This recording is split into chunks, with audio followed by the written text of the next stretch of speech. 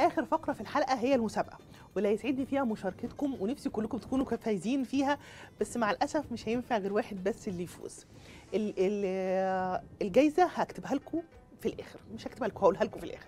السؤال هو من هو أول من كتب لا إله إلا الله محمد رسول الله على العمله وهديكوا ملخص سريع كده عنه يمكن تعرفوه أكتر.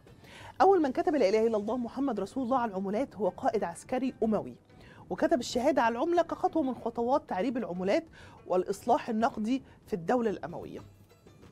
القائد العسكري كان أحد رجال الخليفة الأموي عبد الملك بن مروان وهو أول من قام بسك العملة الإسلامية وأول من قام بسك الدينار الإسلامي.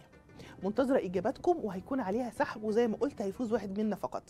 ال- الجايزة هتكون عبارة عن تبرع باسم الشخص اللي هيكسب أنا اللي هطلعه وهيكون لبناء آه، بير أو لحفر بئر في اما في مصر اما في افريقيا. أنا لسه مش متأكدة دلوقتي حسب المؤسسة آه، آه، المؤسسة اللي أنا هتفق معاها دلوقتي.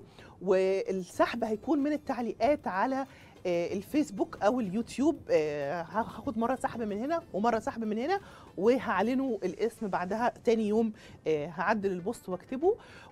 وبهذه المناسبة أحب إن أنا آه، أشارككم حملة التبرعات اللي إحنا بنعملها كل سنة. آه، رمضان فرصة جميلة إن الواحد يتصدق فيها ويعمل أعمال خير أكتر. هسيب لكم رابط التبرع تحت في صندوق الوصف اللي حابب يشاركنا معانا. آه، وإن شاء الله آه، نلتقي في حلقات أخرى كثيرة آه، لأن حلقتنا خلاص النهارده انتهت. وندعو الله العظيم أن يجعل شهر رمضان المبارك هذا العام شهر خير على بلادنا وعلى بيوتنا ويتقبل منا دعواتنا وصيامنا وقيامنا ونشوفكم على خير المرة الجاية. السلام عليكم. Thank you.